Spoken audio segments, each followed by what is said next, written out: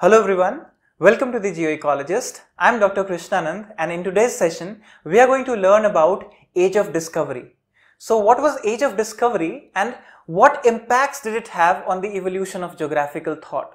What happened during this particular period when this land of knowledge was now shifted from Baghdad again back to the Western Europe, to the Christian Europe? So what happened during this phase of colony making? What kind of knowledge was accrued and in what processes. So we are going to learn the process that happened and what was the impact of that process during age of discovery. So before we go ahead, please like and subscribe to our channel and don't forget to press the bell icon for the updates.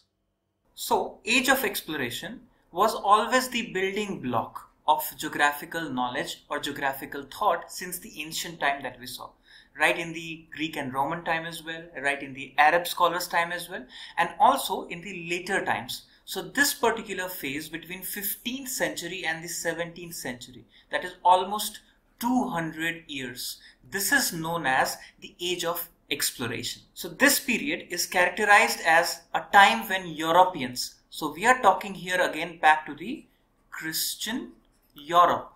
So remember from Arab scholars, now we are again back to the place in Christian Europe section, began exploring the world through sea routes in search of new trading routes, wealth and knowledge. So these are the three facets of age of discovery which we see that trading routes were important, wealth accumulation as usual it was important for all the empires and knowledge was another factor. So why we are concerned here is this factor only. Geographical thought is concerned over what happened to the knowledge part. So let's understand the Ottoman Empire took control of the Constantinople.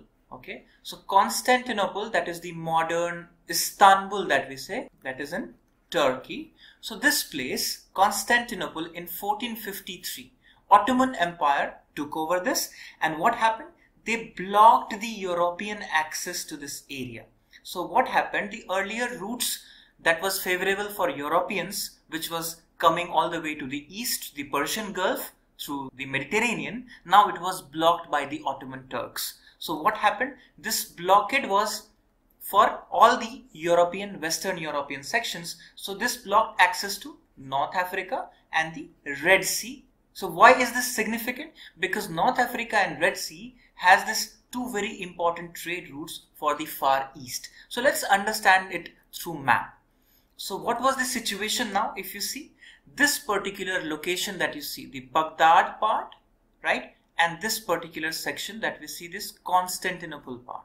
So now what we observe here in this particular time period that the Europeans, the Western Europe, the Christian Europe section, who had earlier access to this lands of Far East further through this trade route through Red Sea also through this particular Persian Gulf and through land routes. Now this was completely blocked by this Ottomans here at Constantinople. So what happened? This North Africa also was in the hands of the Ottomans. This route and the sea route, the Gulf route, all these three routes were now completely blocked. For who? For the Christian Europeans. So this was one of the reasons that they started looking towards the ocean now. So they wanted different routes for the different lands so that they could acquire more wealth and also knowledge as well would be accumulated in the process. So now let's understand that what happened in the Christian Europe during this time. So now let's look at the age of discovery with the sequence of events. So first of all what happened? Portuguese. What you see here, this part, the Western Europe part, so it is connected to the Spain. So Portuguese were the pioneers. They were the first explorers who went and were supported by this person called Prince Henry, the navigator. So he encouraged these explorers to go beyond the limits, to go down south and west and explore for the newer lands. So what we observe here is this particular island that is called Madeira Islands in 1419 and Azores in 1427. This was first time discovered by Portuguese explorers. So this gave further impetus as you start discovering more lands, you want to discover further more. So what happened? Over the coming decades, they would push further south along the African coast, reaching coast of present-day Senegal by 1440s and Cape of Good Hope by 1490. So almost in this hundred years, they covered the entire western coast of Africa all the way to the down south, that is the Cape of Good Hope. And what we see further is in 1498, Vasco da Gama, who came all the way sailing from this Cape of Good Hope to India. So this is how this started. So let's understand further. Another person that is famous in this particular time period is known as Christopher Columbus. So he was an Italian working for Spanish monarch. Now if you remember the map, Portuguese and Spain. So there was again some work happening under Spanish monarchy in terms of exploration and he set this journey, the voyage for India in 1492 he did not want to go to Americas. It was unknown till then. So what happened? He wanted to go to India and he set in the West. So this is that particular image if you look at. So it is an illustration, embarkation and departure of Columbus from port of Palos on his voyage discovery that is 3rd of August 1492. So on 3rd August 1492 if you see that is almost going to be exactly 800 years now. So 800 years ago Christopher Columbus went looking for India. So instead reaching India what happened? He reached island of San Salvador, what is today known as the Bahamas. So that is where he reached and he also explored the island of Hispaniola, home of modern day Haiti and Dominican Republic. So he reached Americas and he thought that was India. And remember, we have studied earlier that the projection used by him was the Ptolemy's work. So Ptolemy's guide to geography that we studied in the Roman contribution. So that was the reference which was translated in Latin again from Arabic and this was utilized. So this was the time when again opening of Americas was part of the biggest discovery. So what happened? Let's understand. We see here Britain and France also began seeking new trade routes in this particular time period. So in 1497, a person called John Cabot, an Italian explorer working for English. So remember, people were Italian, but they were working for English or Spanish or Portuguese, so that was the trend. So what happened? He reached to what is believed today that is coast of Newfoundland.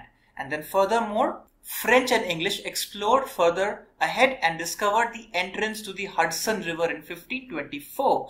So Henry Hudson, who mapped this island of Manhattan first in 1609. So you see the colonization of Americas begin in the beginning of 17th century now.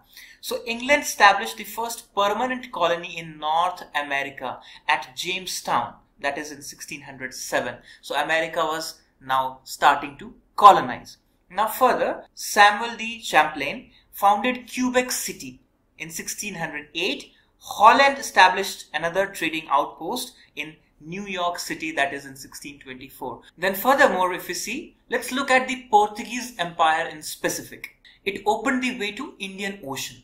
So opening the way to Indian Ocean was one of the pivots in history because it helped in further going to Southeast Asia as well and discovery of more lands. So what you see here is that in next two centuries, the Portuguese created a great trading empire on the coasts of Africa, Arabian Peninsula and India.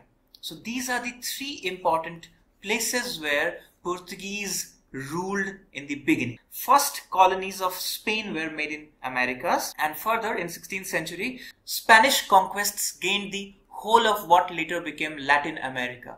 So in Latin America, if you look at most of the states or most of the countries are Spanish speaking. And then further, some parts were controlled by British and French colonies as well. Spanish concentrated on the conquests, unlike Portuguese. Portuguese who focused on trading more rather than conquest. So Spanish conquests are famous, Portuguese trading is famous. So that's important. When Spain and Portugal were united under King Philip II of Spain, they combined this largest empire in terms of the colonial empire in the age of discovery. Ferdinand Magellan started sailing in 1519. Okay, so he returned to Spain in 1522, although he could not himself reach in 1522 as he died just few months before reaching finally to the Spain, but his troop return. So the survivors were the first ever people to sail all the way around the world. So if you look at this particular map, this place that is the tip of South America is known as Strait of Magellan. He was the first person to sail through this route and cross entire Pacific and then come to this islands of Malaysia, Indonesia, and then finally sail to this Cape of Good Hope and then the same old route back to Spain. So it was the first person who traveled almost the entire world, set in the west and came back from the east. So that was one of the important events in this history of age of discovery only because after this, the fear of sailing beyond the known limits, the fear of unknown was completely gone. So this gave further more impetus, more power to Western Europeans to actually explore more, explore further in all directions. Apart from this section of the land that was controlled by the Arabian empires and the Ottoman empires. So what happened? A person called Mercator, we all study him in the Mercator's projection and now we have universal transverse Mercator projection as well. So in 1569 he contributed to the world map and creation of this projection using this constant rhumb trajectory. So it is also known as loxodrome. A rhumb line is basically a line that crossing all meridians at a constant angle. So when angle is constant across all meridians, so it means we are talking about sailing through the shortest route. So this was devised using this particular technology, using loxodrome. So in 17th century, we find there were major political and religious wars between these three, the Britain, France and Netherlands for supremacy. So what happened? The world became battlefield of these three nations. Out of which what happened, let's see. Britain and France held in North America, in India. Okay, so French colonies and British colonies were largely in the northern part of America and in India and other some places, other some islands. But the Dutch colonized smaller parts of Americas, took former Portuguese trading centers in the Indian Ocean and conquered Indonesia. So the world was now getting divided under British, French and Dutch. So that was one point. So with the help from French, Dutch and Spanish, they defeated Britain in American Revolution. That is the history that we understand. But still, apart from that colony, so at the end of 18th century, in 1778, Captain James Cook of Britain, he sailed across South Pacific and first time the horizons of southern hemisphere were broadened enough to that extent. So he landed on two large islands, sailed west found a bigger piece of land as well. So now this was the first New Zealand and the second was Australia. So this was discovered by Captain James Cook in the last decade of 18th century. So he then explored Pacific world for another year and died in fight with the Hawaiians. So there were lots of wars as well happening with the natives, with the local. So he died fighting that particular war. But New Zealand and Australia was also found, which became Greater British colonies let's understand the impact of age of discovery now. So what happened because of this colonization? That is where we are concerned in geographical thought. So explorers learned more about areas. So learning started as with exploration. So knowledge started coming from all the lands right from the africas to the americas to the australias and knowledge flew back to europe so Europe became the next center for knowledge accumulation after Baghdad in the Middle Ages under Arab scholars that we saw. So massive wealth accumulation started as well with the same as these colonizers used to trade in goods, spices and precious metals from all the lands and bring all the wealth to Europe. So methods of navigation and mapping improved as we saw. So Portolano charts and nautical maps apart from Mercator projection all these were developed. And furthermore new food plants animals all this diverse knowledge were exchanged between these colonies of Europe and people understood more and more about the world. Indigenous people who were the natives of all those lands originally were gradually decimated they were sidelined, they were killed in wars by Europeans, and furthermore, this had an impact on disease outbreak as well, on massacres as well. So, a lot of things were happening. But remember, one thing that we are concerned here is that discovery of all these lands led to accumulation of one thing that we see is geographical know-how of different places in the world. The world map had a broadening framework under this British Empire. So what we see here is the workforce needed to support the massive plantations and that led to further 300 years of slavery furthermore. So we see African slaves and Indian slaves being transported. So colonies were utilized for labor as well.